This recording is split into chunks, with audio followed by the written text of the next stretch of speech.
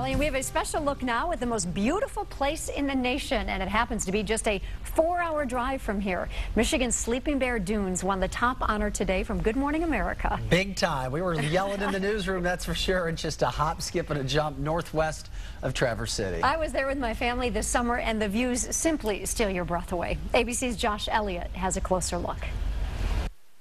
Regal mountaintops, breathtaking blue waters sent us thousands of images of your most beautiful places in America.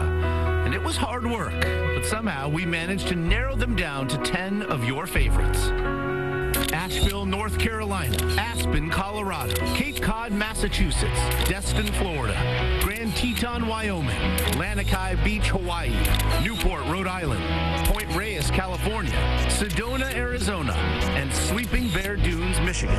We showed you the sights, and then thousands more of you told us which was your favorite. Your most beautiful place of 2011 is the Sleeping Bear Dunes National Lakeshore. GMA viewer Jim Madole nominated this place, saying, quote, it is peaceful and serene, a place for gazing out into the world, night or day, and realizing that the universe is truly a magical, majestic mystery, and humans are just a very small part of it all. A remarkable landscape crafted by ancient glaciers, 64 miles of sand, 26 inland lakes, two islands, countless shipwrecks, and of course, those monumental sand dunes. But the beauty of this area doesn't stop with the sensational scenery. The small towns surrounding the park are full of the makings for a perfect vacation. Charming architecture, cozy inns, and especially lots of good food. And for a sweet treat, pop into Bob Sutherland's cherry-themed store, Cherry Republic. Well, you're in the largest cherry growing region in the world. Cherries is what we are.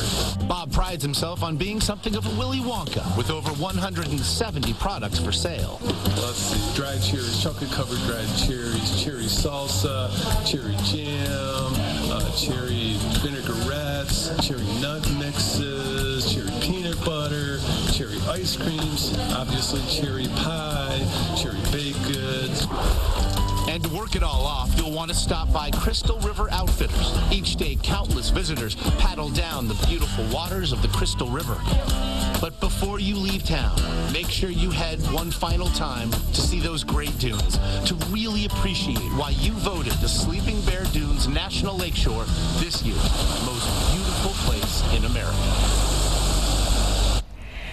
One of the biggest fans of Sleeping Bear Dunes is the famous chef Mario Batali, who appears on Good Morning America. His wife went to the University of Michigan, and they fell in love with the place when they started going up there with friends.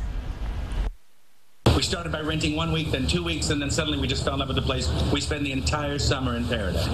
It is remarkable in its beauty, in the people, in the farmland, in the way that they can serve their beautiful nature. It is a remarkable place, and it's kind of like Mayberry. It's just perfect little Americana. Yeah, Mario was fantastic on Good Morning America this morning talking about this place. And joining us now on the phone is Dusty Shultz, the Sleeping Bear Dunes Park Superintendent. Hello, Dusty. What a morning for you. Wow. Did you think the park would win this national contest? Well, we had hoped they would. Uh, we are just so very excited and thrilled that Sleeping Bear Dunes area um, received this uh, most magnificent honor, and we're just proud for the state and for the National Park Service and all the uh, local community and vendors in the local area that have really contributed to the visitors' um, services that they provide to all of our 1.2 million visitors every year. With that being said, Dusty, are you and everybody else there ready for everybody in America to start coming and visiting? Because I know I've had a couple emails this morning saying, yeah, this is great, but we don't want everybody at our national treasure. Yeah, I, I think there's plenty of room for all. With the 71,000 acres of parkland here, the 64 miles of shoreline, uh, the massive sand dunes, they're huge, along with the undeveloped beaches, uh, forested hills, quiet rivers, yeah, secluded inland lakes. There's room for everybody. You know, uh, Dusty, if people do come by, because I was just there, I have mentioned to our viewers a couple times, just about well, over July 4th week, and my family and I just adored it. But uh, people really should stop at the Visitors Bureau Bureau, shouldn't they, to get maps and to figure out what involves, what all is involved with this park, because there's so much to do.